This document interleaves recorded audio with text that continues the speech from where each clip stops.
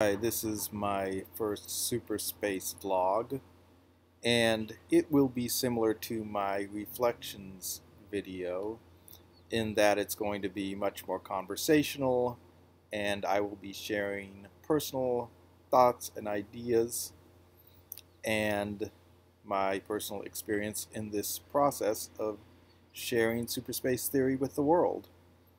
Um, and as in that video, my disclaimer will be that it is being recorded outside, so there may be background noise.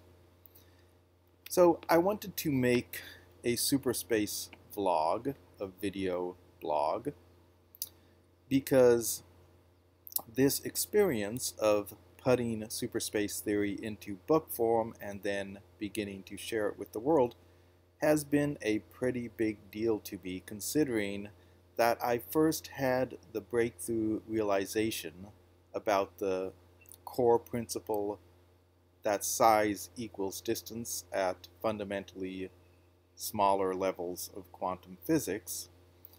I first had this idea, um, this realization, back in 1997 and first tried to write it down in a coherent fashion in 1999. So this has been with me for a very long time. And part of my um, sort of concern with sharing it was that because I'm not someone in the scientific community or a mathematician, that even though I believe I have articulated the core principles clearly, that I would not get credit for this um, breakthrough theory, this fundamental principle and realization that the fourth dimension lies in the direction of the very small, that when we move into the realms of the subatomic, we are no longer getting smaller, but moving in a fundamentally different fourth spatial direction which is the fourth dimension. Now this particular core principle has never been articulated in physics, in any um, area of science.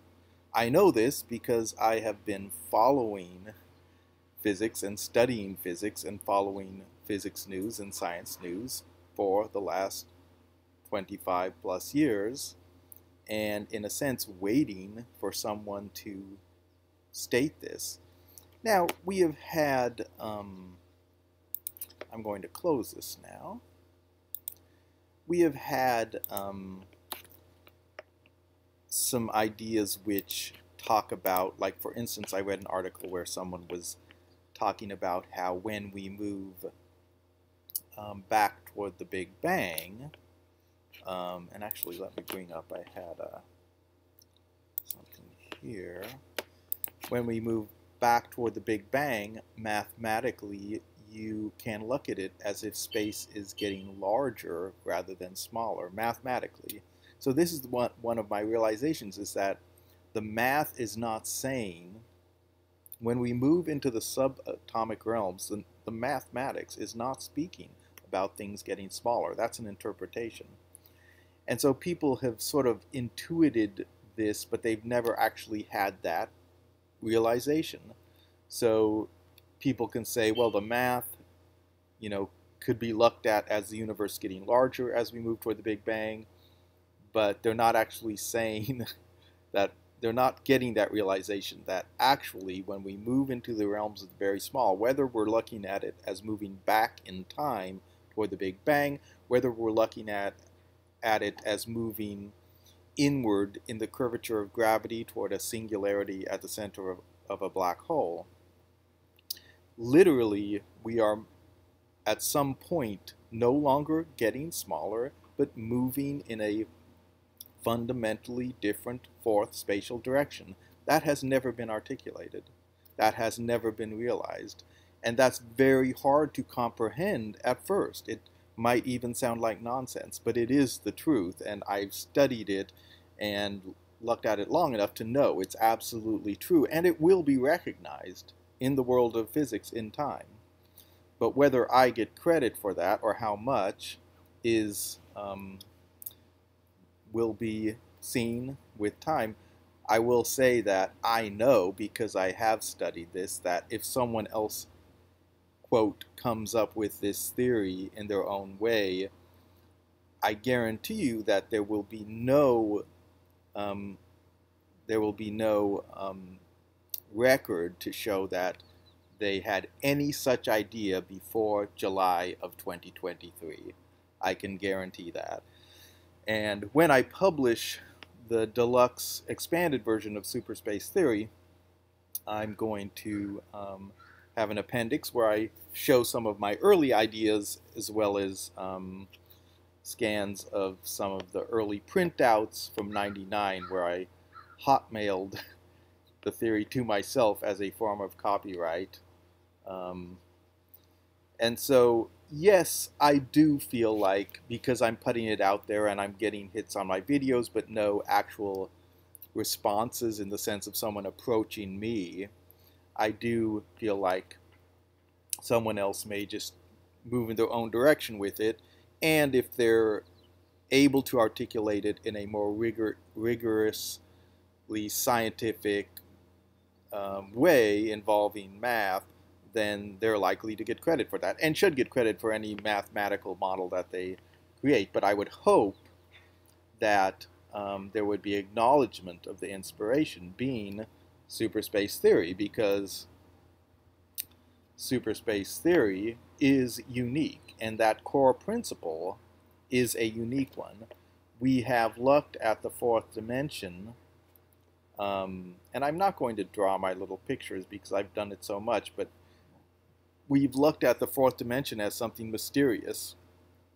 You know, I was watching, maybe I can just look for a video. I will be um, surfing the net and pulling up videos, but I will um, be doing this in terms of crit critiquing the idea. That's a physicist. I would love to have look at my stuff. There are a few. Um, so I believe this is fair use. Um, but yes, I was looking at a video. If I ramble a little bit, that's the point of this vlog, is that I can just sort of stream of consciousness this. But um, I was looking at a video of Carl Sagan talking about the fourth dimension. Um, obviously a brilliant gentleman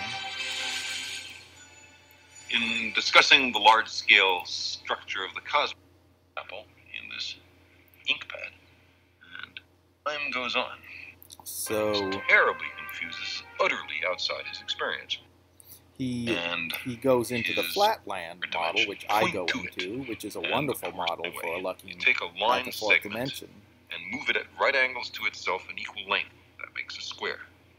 Move that and with their vertices connected. Now, if we look at the shadow of a three-dimensional object in two dimensions, we see that, in this case, not all the lines appear equal. Not all the angles are right.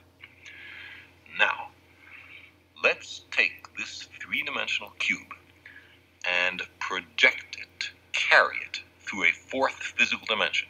Not that way, not that way, not that way, but at right angles to those three directions. I can't show you what direction that is, but imagine that there is a four. So that was it right there, where he says at right angles to these directions, and I can't show you what that direction is. That's where the fourth dimension has been seen as mysterious. And when we speak of time as a fourth dimension with space, four dimensional space time, time itself is seen as mysterious. And so this is the breakthrough realization of superspace theory, showing that the fourth dimension is in the direction of the very small, and it's literally looking us right in the face. And I said I would not draw, draw my little pictures, but you know what? I lied. I'm going to draw my little picture, okay? um, let's... Uh, this. Green is fine. Um, so as anyone who's watched any of my videos or read the book knows, when we're talking about the fourth direction as being in the the fourth dimension as being in the direction of the very small, we think of our universe as a 2D field or sheet, as in the flatland analogy. And so in the flatland analogy, something moving from the fourth dimension poking into that sheet would appear as a tiny dot. In superspace theory, I say, well, that is literally what the realm of the very small is doing. The realm of the very small is the direction, is the place where these fourth dimensional realities come from, if you want to look at the flatland analogy.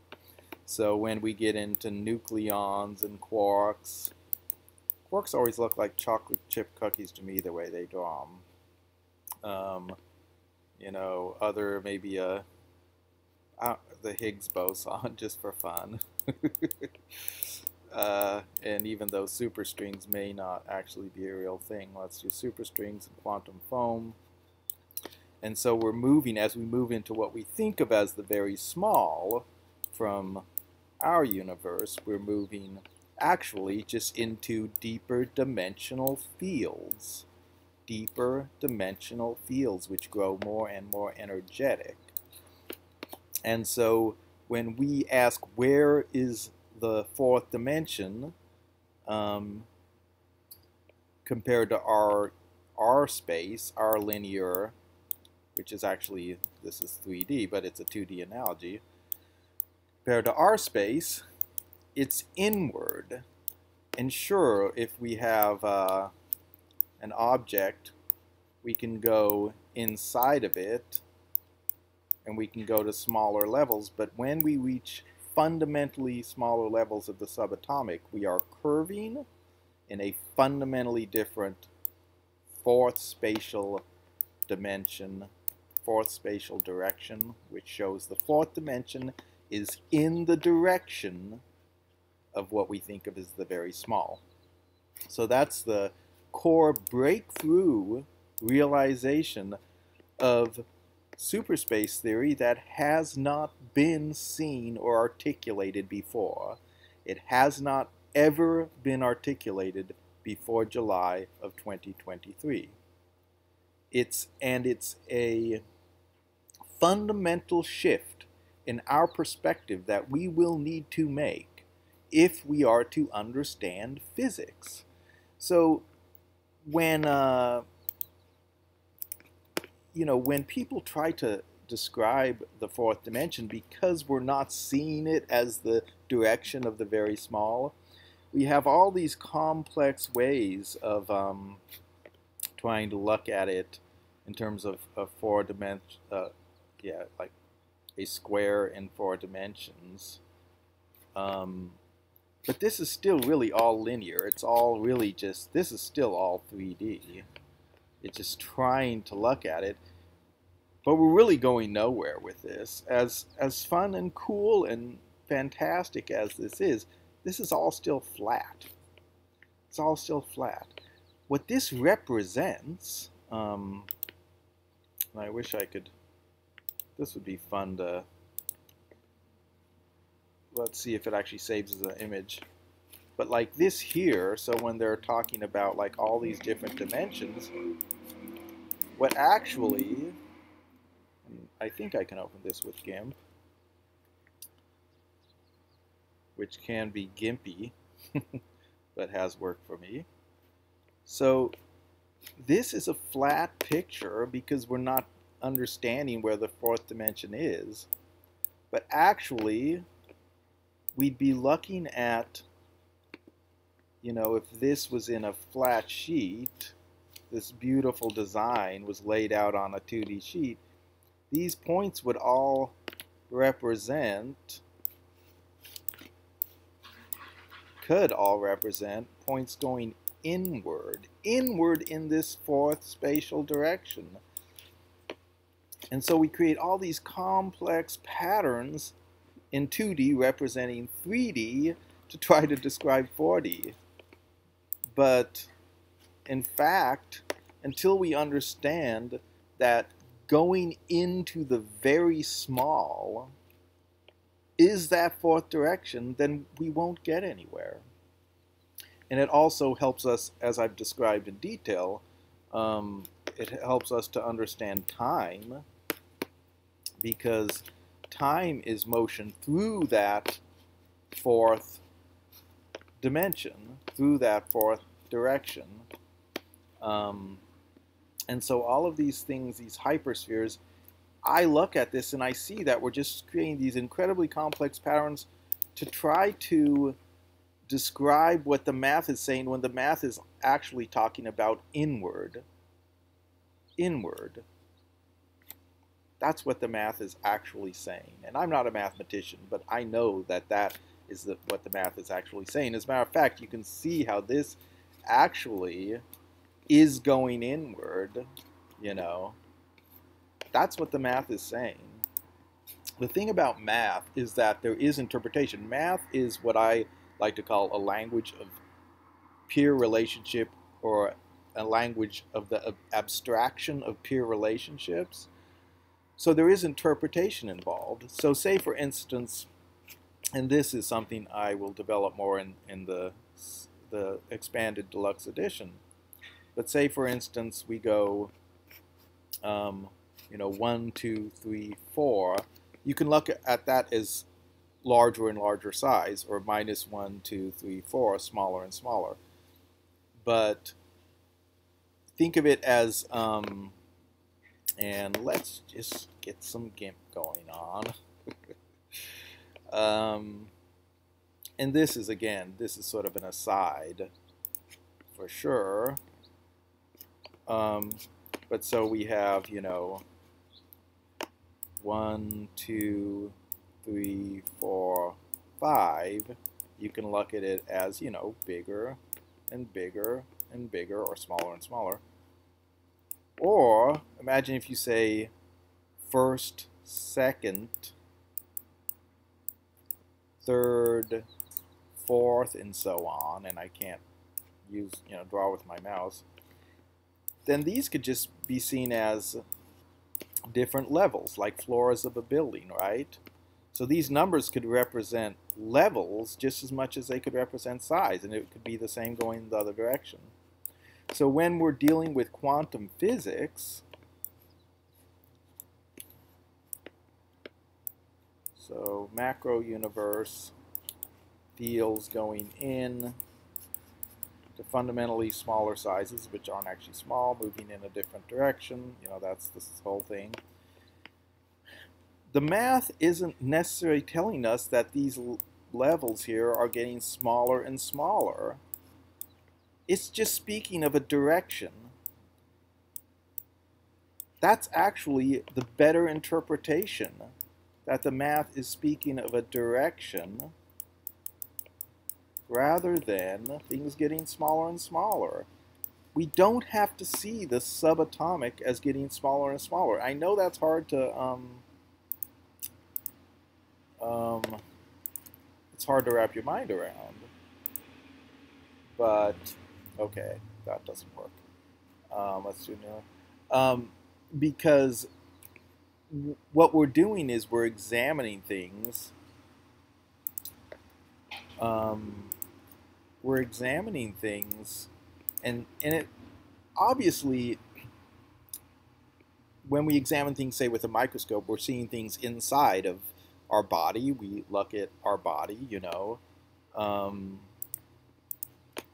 so we have, you know, if we look at someone and we look at our body and we see cells, and then we see the cells are made up of, you know, molecules that are made up of atoms that are made up of quarks, right?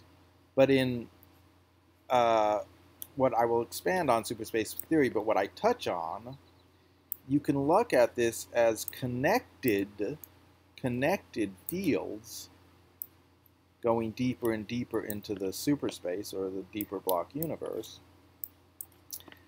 And it's like we're a lens in a way. So we are connected to these different energetic levels, right? So when we like an electron microscope, and I'm going to make an absolutely ridiculous little shape which looks nothing like any kind of microscope ever. And then I'll make a little man staring into it. I'm an incredible artist, by the way. you know, our vision is actually peering deeper into deeper levels, right? You know, yes, there's a connection, and yes, the deeper levels create what we experience as mass, but that doesn't mean it's all just bunched together in this single field. I, again, that's hard to comprehend until you comprehend it.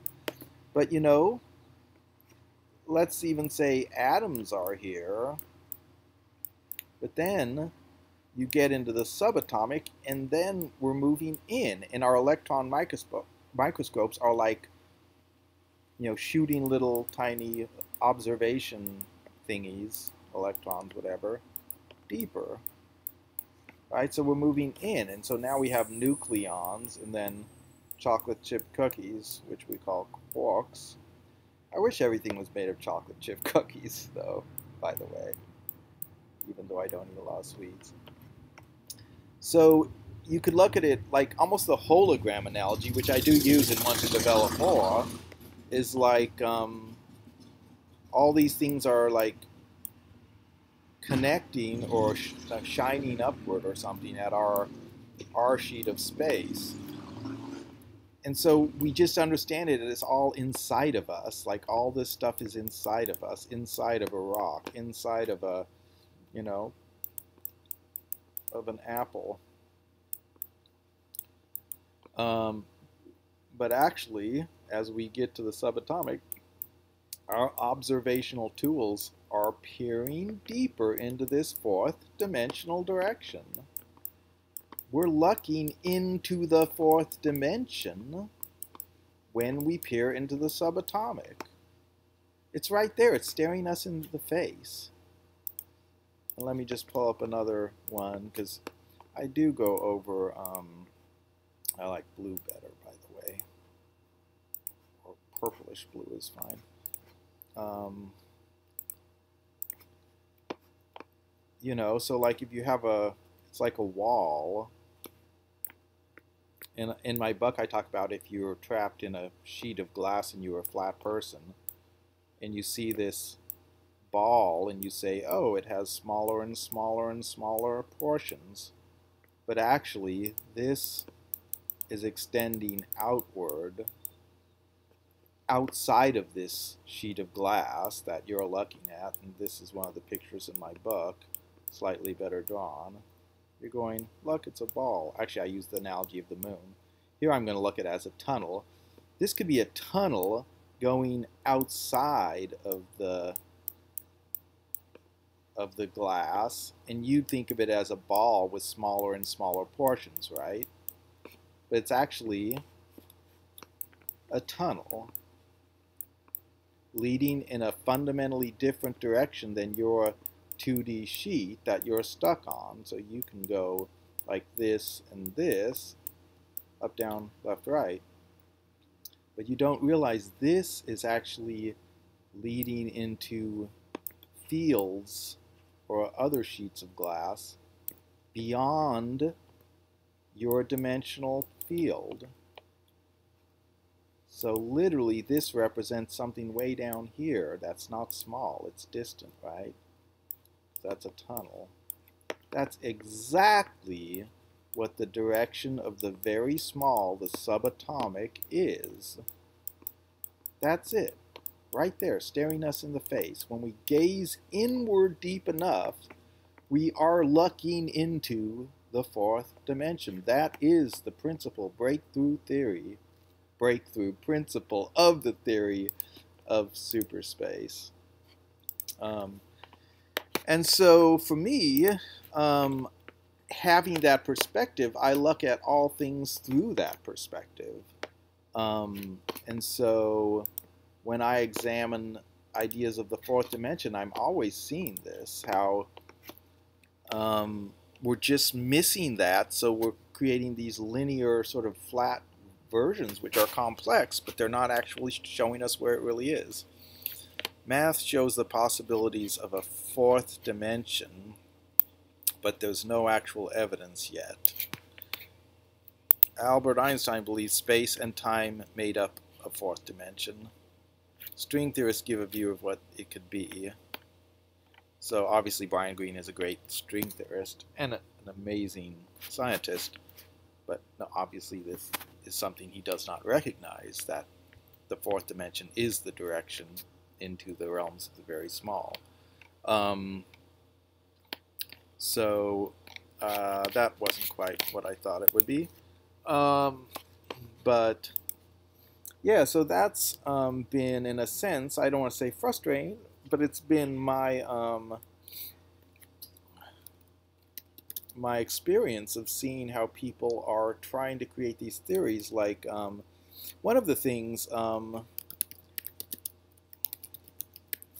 smallest particle, is when we look at particles as being smaller and smaller and smaller, we think there's going to be an endpoint. Um, and let's just pull up GIMP again because it's so fun.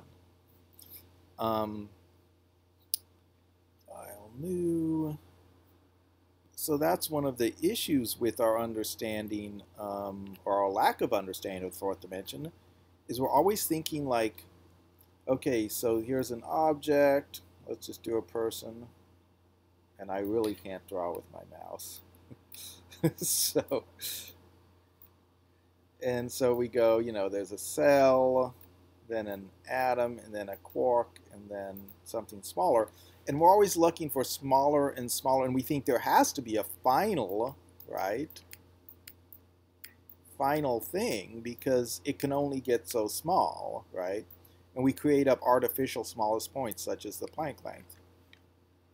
But you see, when you see that our universe in a 2D analogy is a single sheet with or field with deeper fields beneath it moving in the direction of what we think of as the very small, there doesn't have to be a smallest particle. As a matter of fact, the energies moving through these fields probably come from some field of just absolute energy that still just moves into infinity. So that's one of the things that um, I've I've seen is that this sort of quest for the smallest fundamental particle is, mistaken in a sense because there won't be a smallest particle. Um,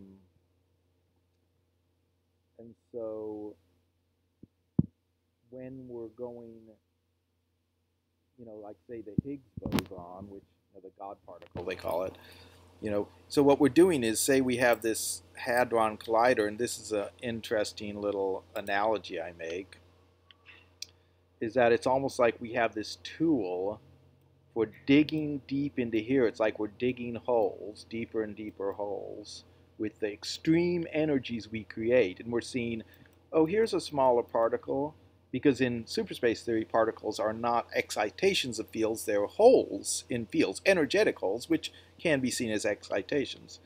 Here's a deeper particle, here's or here's a smaller particle, here's a smaller particle, here's a smaller particle, like we're going, you know, burning this pit into the dimensional fields, and we see, oh, a particle appeared and then disappeared as we like tore open a deeper field of space. You see what we're doing? There's no end to this. It just will become, it will see more and more energetic phenomena. I actually wanted to make a little cartoon, and I probably will someday. Um, but I wanted to make a little cartoon, and I can't draw here, but I wanted to have like two professors talking, you know. Um, let's make them have glasses. um, and one like questioning whether they or why they should believe you know they found a fundamental particle and, and that professor going oh no but this one is teeny tiny uh, I don't even know how to spell teeny tiny. Teeny. Oh, but this one is teeny tiny. Like trying to say why this one would finally be the final smallest particle. and um, that's just a funny little joke I want to make. Because in a sense, that's like this quest is always to, uh, to find a fundamental smallest particle. Well, there is no smallest particle. It's a direction. The direction inward is a direction. It's not getting smaller and smaller. You see, if, if that's true, which it is, you see what we're doing? We're completely mistaken in our search for a fundamental particle. So even if superstrings exist as vibration, you know, showing that matters are forms of vibration, that's fine. But those strings aren't small. They're vibrating in these deeper dimensions. Um, they're not a smallest uh, cons constituent or, you know, smallest foundational particle or string or whatever. It's, um, it's something existing in these deeper fields. Quarks, the smallest particle in the universe, are far smaller are far smaller and operate at much higher energy levels than the protons and neutrons in which they are found. You see how things get more and more energetic as we go in. Um, so this has been, and let's just go back to the idea of the fourth dimension. I'm just, this is my theory, so, but, um, uh, obviously no one has come up with the idea that the fourth dimension is in the direction of the very small. But yeah, I mean, there's all kinds of things where it talks about um, the fourth dimension. At least theoretically, there may be a higher dimensions besides our normal three. Um, but they just don't understand where it is. They think it's in some mysterious direction or curled up that's one thing. You know, curled up so tiny it, we don't notice it. It's so we're really looking at things from a flat perspective. Um, I'm a huge fan of uh, Lisa Randall, who wrote Warp Passages. I think she's an absolutely brilliant physicist, and she. Um,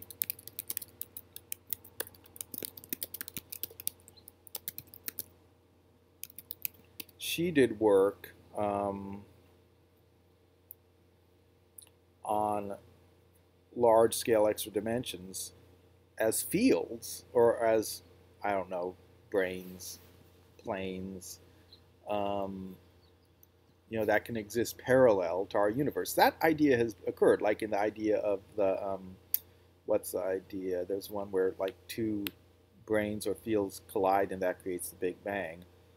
Um, but they just don't see it as the direction of small. Um, and so the idea that there could be dimensions lying alongside our 3D universe, that, that has been um, suggested. I think it's a cyclic universe model. Let's go to that since I'm not really getting anything really clear. Um, I guess they're saying it's a theory cosmic evolution according to which the universe undergoes endless cycles of expansion and cooling, each beginning with a big bang and ending with a big crunch. That doesn't actually explain it, because, or at least it doesn't explain the version which I've looked at, um, which has to do with fields, um, and I may be mistaking which uh, which hypothesis that was. Oh, here we go. The Big Bang um, bum. Yeah, so this is it. So it's where um, okay, the picture went away, but you see the picture. So you know, see those two these two fields bumping into each other. Cosmic expansion, the universe today. That's as far as we've gotten because we can't see. Here comes the GIMP. um, we can't see that yes, there are these fields lying alongside our own three-dimensional universe. That is possible. Field, just like in that picture we just saw. Wavy energy. Oops, it bumped us. There you go. So if we just see these fields as existing in what we think of as the direction of the very small, wow, I can't write with this. then suddenly this all starts to make sense. If we have greater energy deeper down, boom, energy, boom, energy, boom, energy. You know, more energetic, right? More energetic, and I use the term entropic to say more entropic, more entropic. That is this same idea of large scale extra dimensions lying alongside our own 3D universe, except we can say exactly where they are. They are in the direction of what we think of as the very small. And this, this describes a lot, especially when we look at this overall, what I call the block universe, or what actually in the book I term superspace. This multi-dimensional superspace we can start to see things in a different light. One of the things I talk about in the book is that they are connected, so it's like a galaxy is in a sense embedded in, in its connection to deeper fields, and that's why um, things stay in place rather than dark matter. And then, of course, when we see this whole superspace is moving, and that that is what we experience as time, then we can understand gravity in a new way, which I already described how, you know, the whole, you know, heavenly bodies, just like particles, are holes in space. This is moving, so something traveling in a linear direction, this will move up over it. So that's why it curves inward, and even if it's stopped by a by a um, body like the Earth, it doesn't just then float around it sticks because this is moving in the direction of time, which is a physical direction of the fourth dimension. Um, so that's, I think, good for this video. Um, just describing it a little more casually with a little bit more internet use and um, I've been looking at, you know, fourth dimensional things just but I already went over that how it sort of tries to describe things, but just from essentially a flat perspective. Regardless, um, yeah, a little bit more casual, um, vloggy with a little bit more personal thoughts, talking about some of my hopes and concerns. And I really do hope that people in the physics community, as eventually, however much time it takes, as this concept that size equals distance at fundamentally smaller levels of physics. As this is embraced, I do hope for some recognition. Because again, like I said, this, this idea has never been clearly articulated or articulated at all before July of 2023. And I think that is a pretty big deal because if we come to see this as the truth, that the fourth dimension is staring us in the face as the realms of the very small, that is a pretty big deal. It shows how gravity curves into the fourth dimension. It shows how there's these um, multiple fields underlying our 3D universe that show why quantum particles are the way they are, that they lie at deeper levels within this deeper multidimensional superspace. I think there's a lot of ideas which will transform how we view these phenomena, which we are observing with our tools, but we're not understanding what we're observing because we don't see the fourth dimension right there looking us in the face as the realms of the very small. That's it for now. Thank you very much for watching.